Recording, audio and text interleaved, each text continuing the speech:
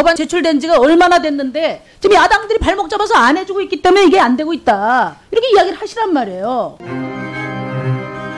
부총리에게 묻겠습니다. 장관 임명권은 대통령이 갖고 있습니다. 야당이 갖고 있는 거 아니죠. 지금 야당들이 기승전 최저임금 인상이에요. 최저임금 인상 안 하거나 좀 적게 했으면 경제 싹 풀립니까? 좀 무리한 주장이거든요. 그런데 대해서 자신있게 장관으로서 소신을 이야기를 해야 될 거 아니에요. 그렇게 갈팡질팡하니까 정치 공세가 더 강화되고 있다고 저는 보거든요.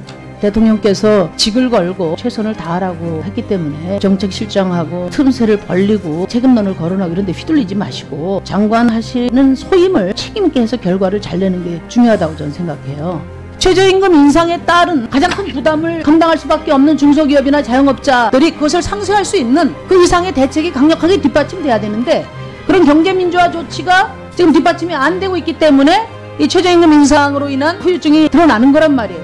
다 나와 있잖아요 지금. 조물주의 건물주라고 해서 상가임대차 보호법 왜 국회에서 처리 안 해주냐 물어보세요. 왜 발목 잡고 있냐. 지금 중소기업들이 가장 힘들게 생각하는 게 단가 후유칙인데 하도급법 개정해 주세요. 또 대리점 가맹점 갑질 해결하게 단체 구성권도 좀 법으로 보장해 주세요 법안 제출된 지가 얼마나 됐는데 지금 야당들이 발목 잡아서 안 해주고 있기 때문에 이게 안 되고 있다. 이렇게 이야기를 하시란 말이에요. 소득주 성장에 대해서 소신도 흔들리는 것 같고 이런 모습을 보여주는 게 저는 문제다. 이런 말씀 드립니다.